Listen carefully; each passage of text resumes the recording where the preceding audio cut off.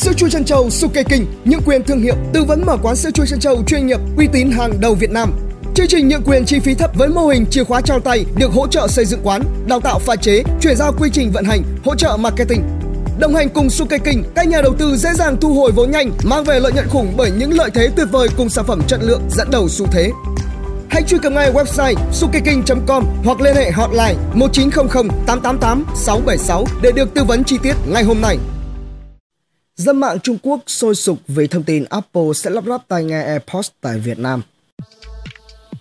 Trước thông tin dây chuyền sản xuất tai nghe AirPods của Apple sẽ được chuyển sang Việt Nam, dân mạng Trung Quốc có người thì chê bai, có người hồ hởi nhưng cũng không ít người lại tỏ ra lo lắng.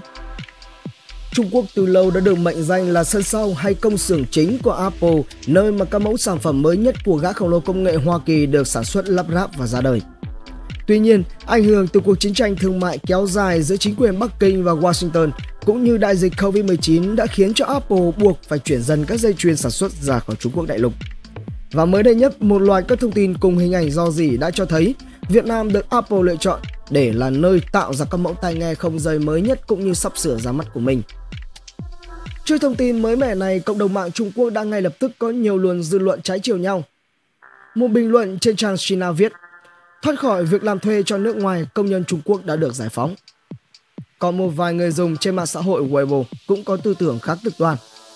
Tất cả các thương hiệu nước ngoài nên bước ra khỏi Trung Quốc.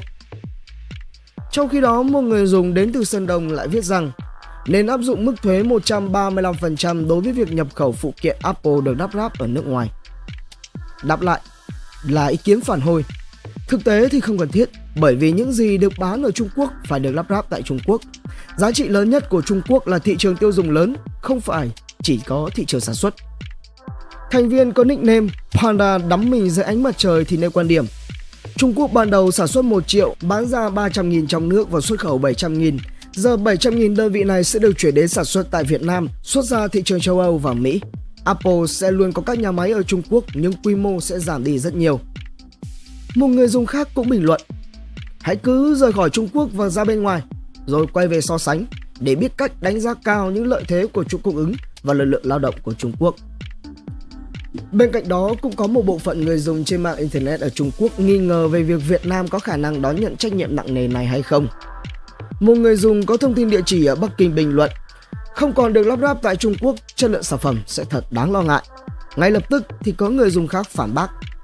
Không sao đâu, Việt Nam sẽ lắp ráp sản phẩm theo đúng tiêu chuẩn kỹ thuật của Apple mà. Một người dùng trên China viết Tôi hy vọng giá của AirPods sẽ rẻ hơn để có thể nâng cấp tai nghe của mình lên thế hệ mới. Tuy nhiên thì ngay lập tức đã có ý kiến phản bác. Ừ, giá cả sản phẩm ngày nay không liên quan gì đến chi phí sản xuất hết nhé. Nhưng cũng không ít người cho rằng việc chuyển chuỗi công nghệ sang khu vực có giá nhân công rẻ hơn là xu hướng tất yếu bởi đó là con đường mà chính Trung Quốc đã đi nhiều năm trước. Một người dùng nhận xét Hệ thống sản xuất của Nhật Bản trong những năm 1990 cũng thống trị thế giới.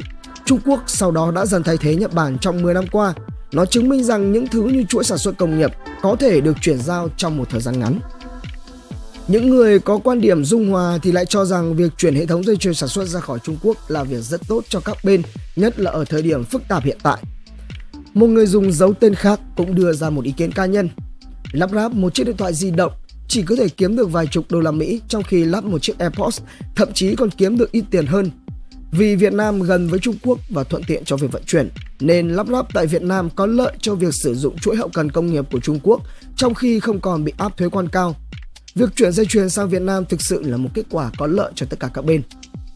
Một người dùng khác, giá lao động của Trung Quốc đang tăng lên hàng năm, giá đất cũng tăng lên tương tự. Việc chuyển dây chuyền sang Việt Nam là điều hoàn toàn bình thường một vài quan điểm khác lại tỏ ra lo lắng cho số phận của công nhân Trung Quốc. Bây giờ thì tốt rồi, một số lượng lớn người lao động trong nước đã bị cho nghỉ việc và không có gì làm cả. Người khác lại chia sẻ quan điểm. Sản phẩm của Apple sản xuất ở đâu không quan trọng vì chất lượng của hãng là hoàn toàn là ổn. Sự đổi mới ý tưởng của họ đã cạn kiệt và đây mới là vấn đề nghiêm trọng nhất. Cuối cùng thì một người dùng trên Weibo đưa ra lời cảnh tỉnh. Chỉ trích Việt Nam ư? Chất lượng gia công nhiều sản phẩm ở Trung Quốc vẫn còn rất kém đấy. Đừng vội hả hê và chê cười người khác. Hãy nhanh chóng nâng cấp công nghệ các ngành công nghiệp trong nước trước khi quá muộn đi. Tổng hợp Bảo Nam, Trí Đức Trẻ, Độc đáo TV tổng hợp và đưa tin. Sản xuất intro quảng cáo ấn tượng cho công ty, sản phẩm hoặc dịch vụ của bạn chỉ với 1 triệu đồng. Liên hệ Zalo 0964 002 593 hoặc truy cập website quảng cáo itb.com để biết thêm chi tiết.